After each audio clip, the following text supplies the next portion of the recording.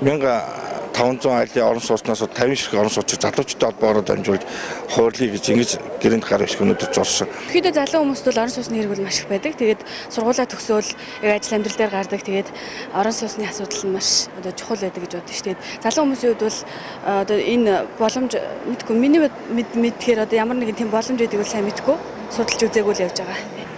Тэглэг үзүүлэхин зөв л гэж бодож байна. Цалингаа тэр чигт нь өгчих гээд байдсан шүү дээ. Тэгээ ер нь байр маяр авах чи ер нь жоохон асуудалтай.